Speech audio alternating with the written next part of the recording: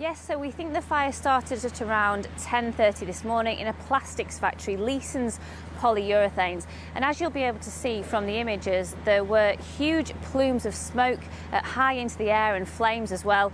People in the area soon after that started to report the sound of explosions. Uh, we know now, now that that was the sound of pressure valves on chemical vats. Good evening. One person is still missing tonight after a huge fire engulfed a plastics factory in Leamington Spa. Huge plumes of smoke could be seen for miles after the blaze broke out at Leeson Polyurethanes this morning. Dozens of homes and businesses were evacuated, and Warwickshire Fire and Rescue Service says it will take several days to put the fire out. Giles Latcham reports. You could see the smoke more than 30 miles away, billowing into the sky above an industrial